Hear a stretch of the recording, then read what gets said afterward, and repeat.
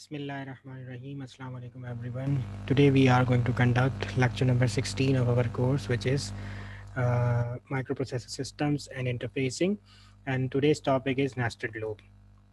Okay, before we go to actual topic there is one thing that we need to discuss and to understand uh, let's repeat an example uh, what we have already done in previous lecture previous lecture uh, remember in last lecture we discussed how one can perform uh, looping uh, and why looping is important. So if you remember in example one we actually uh, added five times a value in working register. So let's redo the example and this time we will be uh, trying to understand uh, maximum size of a single loop. And this term we will understand using a program.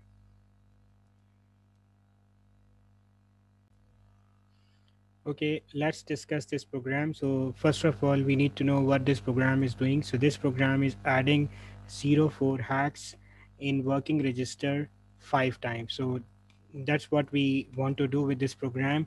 So let's understand this program one by one, uh, line by line. So first of all, what we did, we save move literal to working D5. So we sent five value in working register. So after the execution of this first instruction, W will become equals to five, right?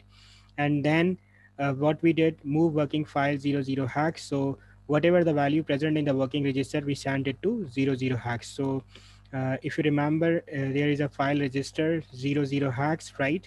And in that register, what we have done, we have sent 05, right?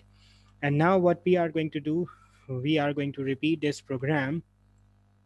Uh, first of all, we are clearing it. First of all, we are clearing it. W is equal to zero in this since line because move literal to working zero, zero. And then we are going to repeatedly repeat a repetitive addition of uh, zero, four in working register and how we do it with this with this instruction add literal to working and what did we what did we add? 0 4 hex so here w will become 0 4 so 0 0 value will be added to 0 4 and that will become 0 4 and this is the new instruction that we are learning. So this is very important instruction that we need to know. In this instruction what this instruction do? This instruction decrement file. So what file we are talking about? This file.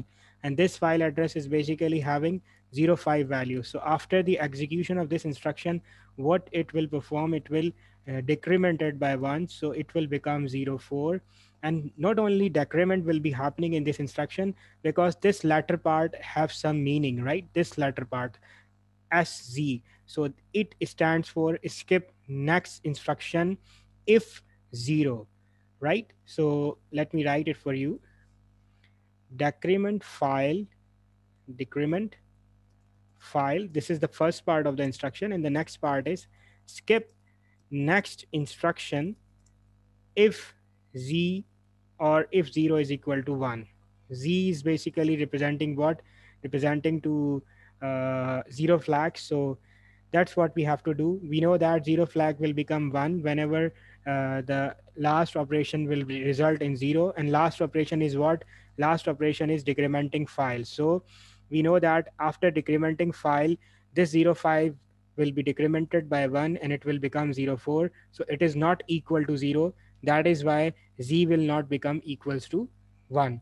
So this uh, instruction or this condition will become false. And what will be happening? Uh, uh, what will be happening? We will execute the next instruction. You know that if that condition will be true, we will uh, we will skip the next instruction. But in this specific part or in this example uh, in this example uh, it is not becoming equal to one. So this next instruction will be executed and next instruction is what? Branch xyz so next instruction is unconditional branch uh, which jump which allow us to jump to xyz label and in xyz label we come back to this instruction. So add literal to working is next instruction. So what is going to happen? 04 will be added once again right 04 will be added once again. And what will happen in next instruction will go execute. So decrement file. So this 04 will become 03 right? And again it will check skip the next instruction if zero flag is high which is not the case because it is still zero three not zero. So what will be happening? Next instruction will execute. It will it will force us to go to xyz label and this time so five times this instruction will get execute and when five time addition will be happening what will be going on? That this will become 0 2 right? Then it will become 1 and after 5 time it will become 0 so when we will be doing this addition fifth time what will be happening? Uh, the result uh, of the last operation would be 0 that means this condition z equal to 1 will be true. So this part will going to be in effect right? So what will be happening? Not only decrementing will be happening but this will this condition will be true and this part will execute. That means we will skip the next instruction. And next instruction is what? Branch xyz so this instruction will be uh, skipped. And what will happen? We will uh, come out of the loop. So this is another uh, way of creating a loop. I hope you have understand. Last time we cre- we used BNZ or some conditional statement along with some label but this time we are using uh, decrement file escape of zero. So this is one of the way by which one can produce a single loop. Right? Okay now we are going to discuss another important thing that we want to actually discuss in this lecture and that is the maximum size of this single loop. So you know that the size of the loop this is a loop and this size is determined using this uh, counter value and this counter value is right now in this case is what 5 so but here we need to know what can be the maximum value that can be feeded in this file register right? We know that every register present in PIC18F452 microcontroller is around 8 bit right? So this is all about all the register are 8 bits so maximum value which can be feeded must be of 8 bit. So maximum value uh, is basically 2 power 8 and that can be equal to 256 right? And that means we will range from 0 to 255 so the maximum size of a loop that can you actually uh, perform in pic 18 f452 will be equal to uh, 255 so here we come to another problem uh, that if we want to repeat certain instruction more than 255 what should be the case or what should be the solution of the problem? So we cannot uh, exceed this number right? This number can't be exceeded. So we have to look for a technique by which we can actually increase the size of loop right? Or size of looping or size of iteration. So what is the solution? Let's go to the solution solution to this problem is nested loop right what thing nested loop and what is a nested loop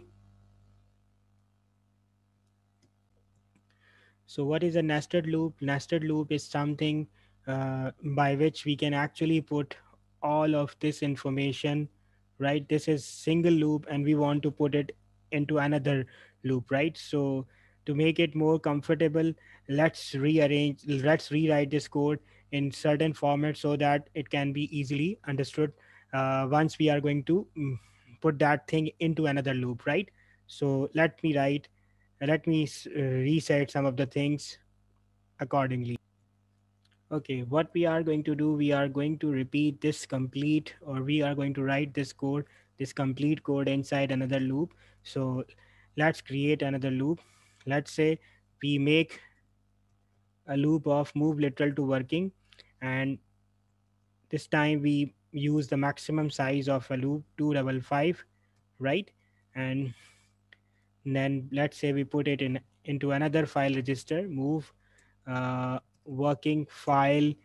And this time we are using 01 hex for our uh, to store this value 255 right? So what will be happening after this instruction this 255 will be uh, stored in the inside this 01 hex right? And what else we can do? We can actually uh, store yeah decrement file. Yeah that is the thing.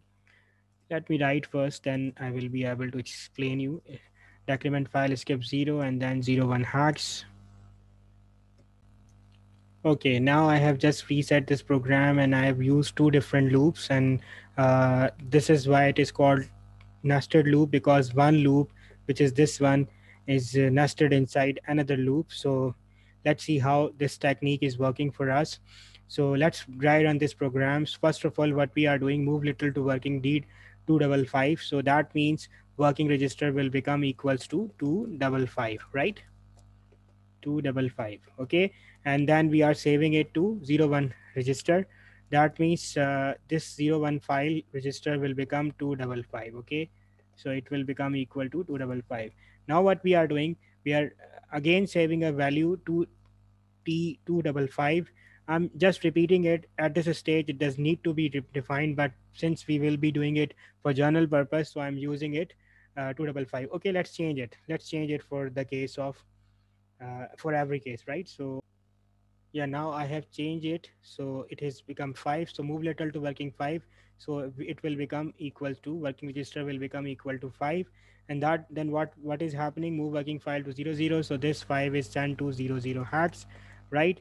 And now what we are doing? Move literal to working 0 0 0 okay there is a yeah no so what we are doing we are clearing it right? Y w is equal to 0 so and then what we did we did addition of zero four. remember we were actually uh, adding 0 4 hex in working register about five times. That is the same code. So it will add working register uh, it, it will add 0 4 hex into working register. Then what we did we decrement a file 0 0 hex using this instruction. So it will become 4 right?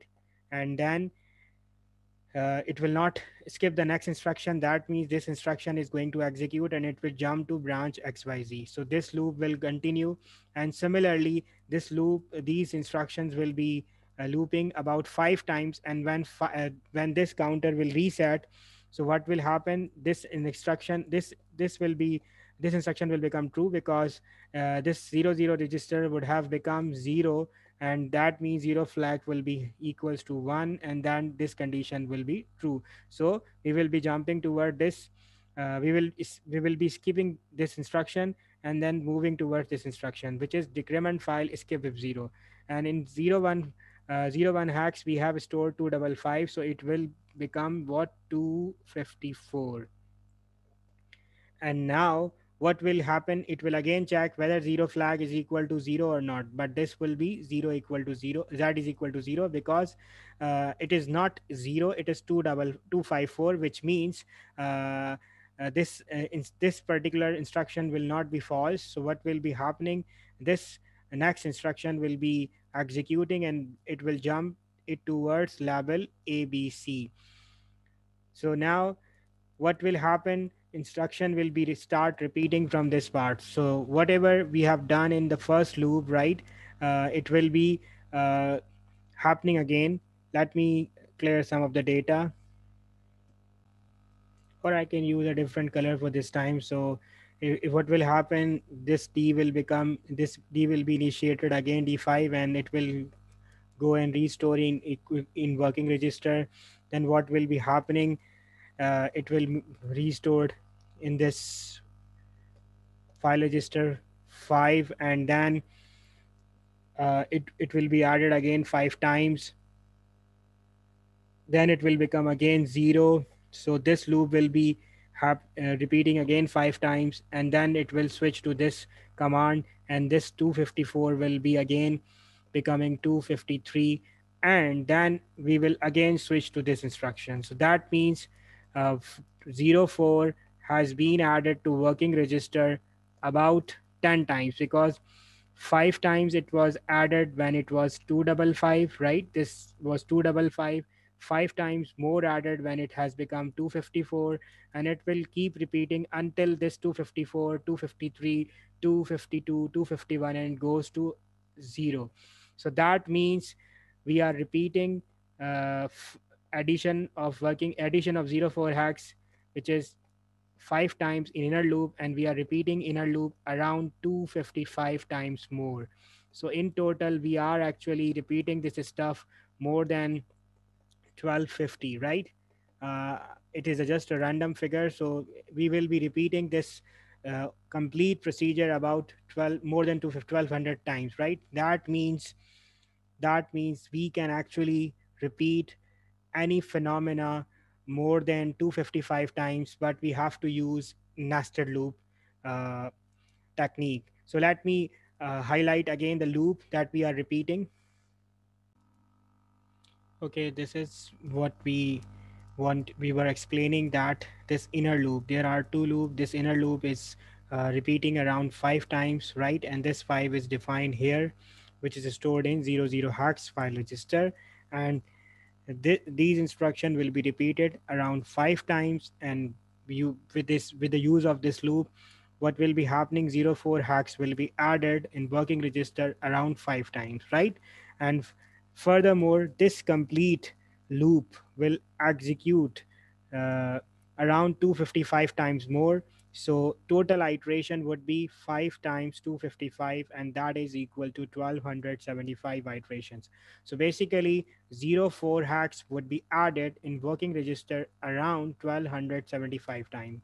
This is what the magic which can be done. So you can further repeat this process uh, any number of time. So that is how you can generate uh, any number, any possible number of uh, iterations using this nested loop command. So you can nest these two loops into another loop and uh, that means you can create another nested loop for a number of times so that means you can actually increase uh, this total number of iterations unlimitedly or indefinitely so that means uh, uh, the problem that we had that there was a limited size of single loop but which can be scaled to any number using this nested loop technique. I hope you have understand this concept.